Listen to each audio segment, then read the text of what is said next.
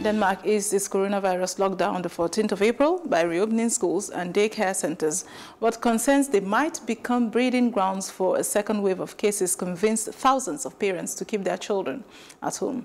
The rate of new cases is falling, but the government's decision has led to a heated debate over how to balance the needs of the economy and safety of the population. And joining us live via Skype is Dr. Lynn Mariegaard. Uh, good afternoon, Doctor. Good afternoon. And good to have you. How are you doing over there?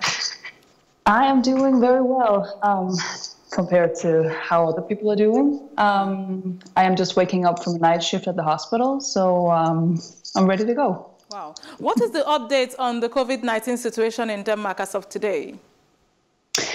Today we have um, about 50 people um, on ventilators. We have 60 people at the ICU, and we have people, multiple people getting tested every day, but still more people um, are recovering, and the numbers are dropping, as you said. So, so far we haven't seen this second wave, as you're talking about. Um, so, we're yet to see what it means to bring those kids well, clearly, back to daycare and school. Clearly, there are concerns there because if parents are saying, well, they're not going to take their children to school, uh, do you feel their worry is valid and is the government uh, likely to pay heed to their concerns?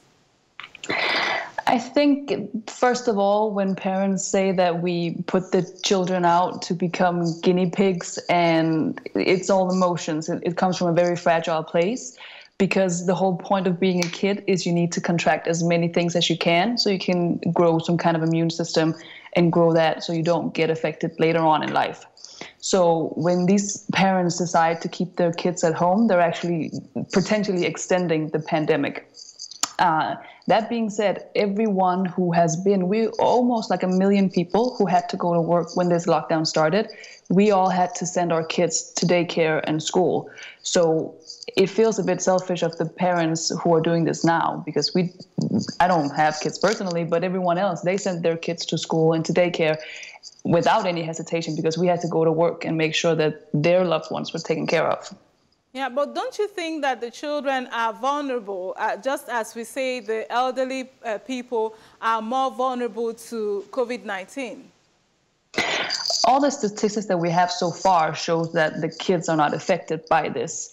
And a kid is like biologically supposed to survive most of these infectious, uh, these viruses and so on. So they are not compared to the elderly people that we have been protecting for so long. They are not at risk. And the the small kids that we have at home, they also have a set of parents who need to get back out there and get back to work and help build the economy and the society.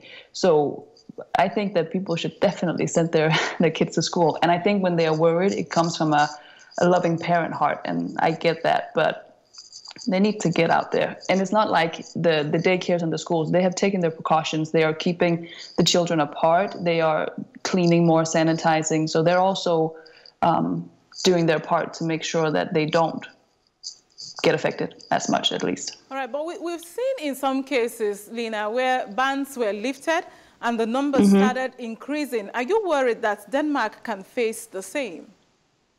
Of course, we all need to worry about that. But at some point, we all need to open up and gradually start this process. I think also the, one of the biggest reasons for the lockdowns everywhere is because we have a healthcare system that needs to be able to take all these cases in. What we're seeing now at the hospital where I work at is that the people who have been staying at home, all our chronically ill patients, they're starting to come back slowly. So if they had come as usual, alongside with this huge uh, number of COVID patients, no one would be able to help them. The hospitals would have collapsed. So the thing we're doing now is that we have created room, we've created spaces, we have created special wards, we have moved nurses and doctors from their usual post and put them in these places so that if a second wave comes, then people are equipped to handle it. And at some point, we have to open up. And it's not everything that's opening up. Um, so we still take it gradually and make sure that everyone can get the help that they need. All right, as a doctor, uh, what's the situation of fellow medical practitioners in the front lines? Do you have enough of all that is needed, you know, to combat this virus?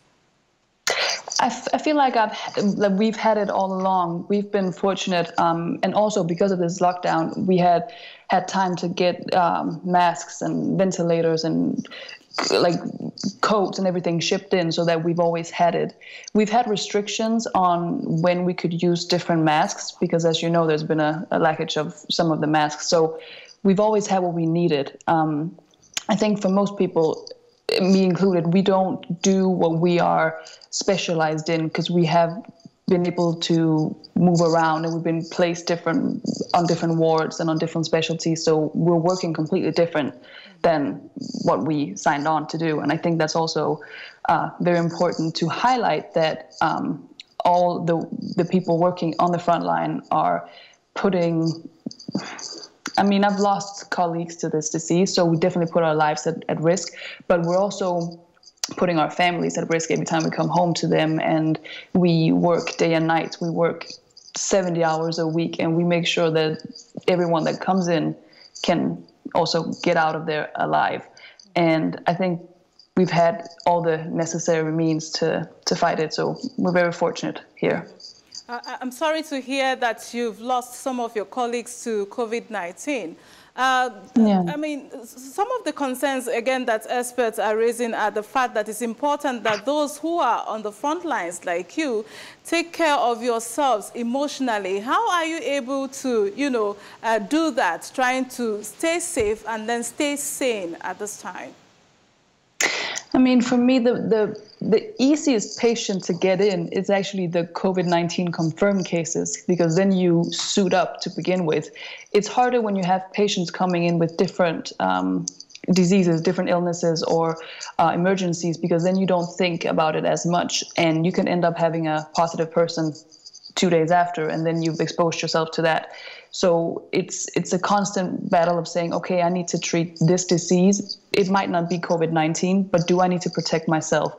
The government is saying if you don't suspect COVID nineteen, you can't protect yourself because we need masks. We need to have all this all the time. So it is a bit of a mind game, and especially when it comes close to home, when you lose a colleague or you have a family member affected, it affects your mind definitely but we all joined this like we all joined this um, profession to help so i travel a lot in africa and i'm used to working with infectious diseases and if you know how to protect yourself you know how to keep yourself safe so i try that um, I was not supposed to be in Denmark. I was supposed to, as you know, I live in Nigeria, and right now I can't get back in. So there's also a personal aspect of me not supposed to to be here right now, but I have to stay home and help the country that I was born in. Um, so it is a bit of a it's a constant battle.